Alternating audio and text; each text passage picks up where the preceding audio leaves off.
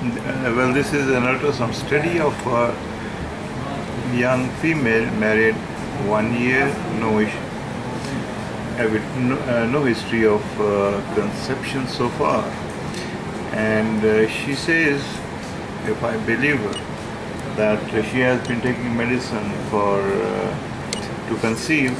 This is the uterus, 7.3 by to 3.5 and this echogenic line is the endometrial canal which is measuring 7.9 millimeter in longitudinal section.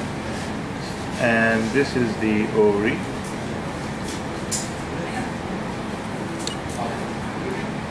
You see ovary measures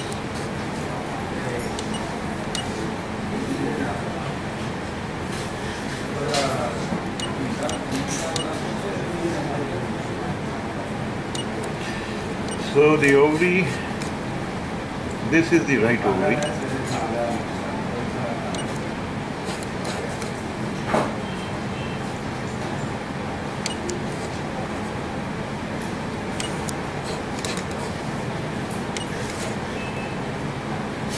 With a volume of 13.4 uh, millimeter, measuring 4.6 into 2.2 into 2.4 centimeter, this right ovary seen having uh, follicles, uh, the peripherally arranged follicles, all 1, 2, 3, 4, 5, 6. These are also follicles 1, 2, 3, 4, 5. So uh, there are uh, follicles seen that are peripherally arranged and the central stroma is preserved. So this is a polycystic kidney right, uh, sorry, polycystic right ovary. The um,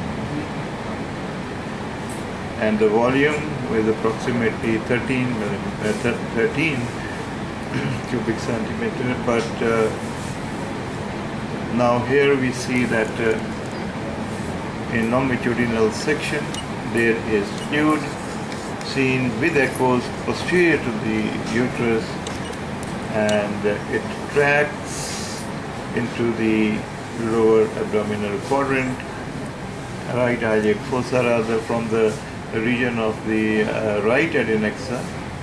It, the fluid can be traced up to uh, the right lower abdominal quadrant which is tense. Patient is tended to this region and you can see this that this fluid is not clear in consistency. Uh, this fluid pocket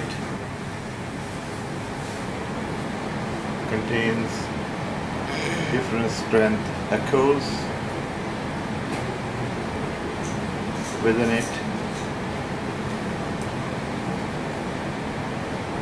The other, I will say that this is more in the uh, region of the right adnexa than any other region. However, bowel segments are seen. Uh, this is the bowel segment. These are bowel segments. This is a bowel segment which is floating, uh, which is uh, trapped within this uh, fluid that is seen in the region of the right adnexa extending into right iliac fossa. These uh, yeah, these are the bowels. This is the uterus. You see, uterus is not enlarged, endometrial canal is not thick, no RPOCs, etc. seen, no clot seen, endometrial canal is not thick, and this is the uh, this one, with echoes, with trapped bowel segments seen in the region of the right adnexa that extends up to right iliac fossa. And uh, another, another interesting thing is that you will, I do see the ovary embedded in this uh, fluid collection, which appears to be either you see the ovary and the fluid anterior to it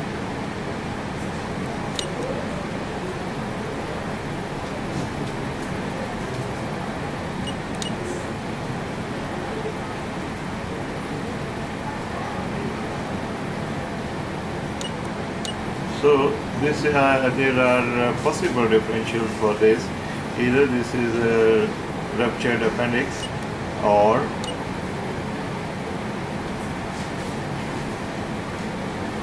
it's a collection of bleed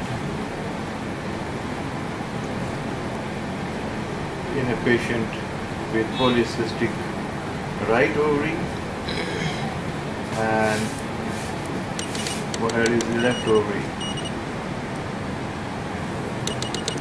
and this is the left ovary it's also polycystic. I'm magnifying. And uh, to show you the number of follicles and uh, you see the largest follicle measures 9.7 and uh, the volume of this ovary calculated volume by ultrasound machine of this of this uh, left ovary is and you can see the peripherally arranged follicles with central stroma characteristic of polycystic. Uh, this is the longitudinal sorry this is the uh, longitudinal section. And this is the transverse of the left ovary. Measures 9.5 though that ovary is not enlarged but uh, we do see ovaries having follicles in different phases of development. Follicles are significantly enlarged and uh, okay ovary this is also left ovary. Now these are the follicles. This is the follicle large follicle follicle this is the follicles